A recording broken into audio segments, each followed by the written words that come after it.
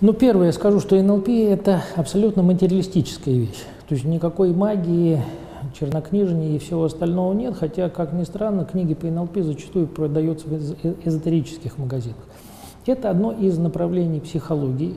В настоящее время существует даже нейролингвистическая психотерапия, которая официально признана психотерапевтической лигой Европейской психотерапевтической лигой, и поэтому люди, которые начинают приравнивать НЛП к магии, они ну, сильно заблуждаются.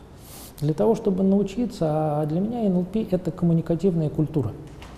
То есть, каким образом можно было бы беседовать с другим человеком, чтобы донести свою мысль до него понятным для него способом, и каким образом понять, что же человек хочет тебе сказать. Вот ничего другого в НЛП нет.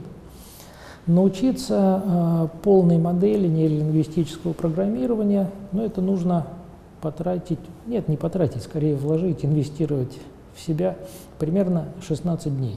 Ну, то есть тренинги, это традиционно ведутся и в нашем центре, и в других центрах.